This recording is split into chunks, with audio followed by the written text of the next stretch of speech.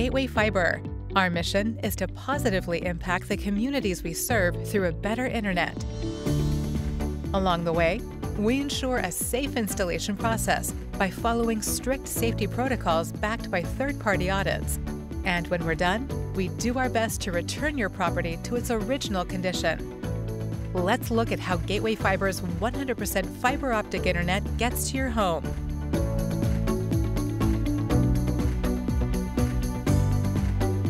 Before we start building, we identify easements and rights of way, obtain construction permits from the city or county.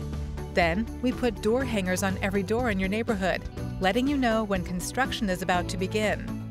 We will also provide updates on our website and through email. Next, we call Missouri One Call, so gas, electric, and telephone lines can be marked. Now, we know where to dig and how to avoid existing utilities. If your community requires all utilities to be placed underground, we begin construction with a digging tool called a directional boring machine that allows us to safely lay protective conduit in the ground, carefully working around the other marked utilities. Throughout this process, we constantly monitor progress through an above-ground tool designed to see the bore head and ensure it is moving along the correct path. If we detect the boring machine might be nearing an existing utility line, or when we know we'll need to cross one, we dig a hole so we can see the line and guide our borehead safely around it. Boring starts only after all utilities are verified and marked.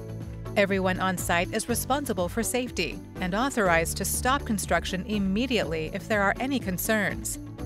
Damage prevention specialists from an independent third party also audit our process for safety. Once the fiber is safely in the ground, it's time to pull the fiber through the conduit and connect the network. Technicians carefully link the fibers to the hub, testing each fiber to be sure it's connected and working. We use pedestals and handholds to allow our technicians easy access to the fibers in case any repairs or replacements are required in the future. We try to locate our pedestals as close as possible to existing utilities so they take up less room. Next, we dig a small trench from the pedestal to the side of your home and lay your fiber inside. We will work with you beforehand to identify sprinkler systems, dog fences, and any other underground obstacles before digging.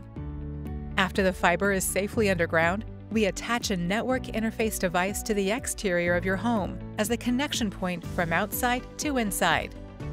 Before we leave, we work to restore the landscape as close to its original condition as possible.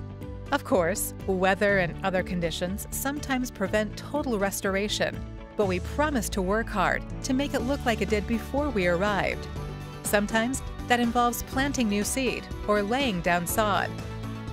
The last step is to bring the fiber inside your home and connect you to the network.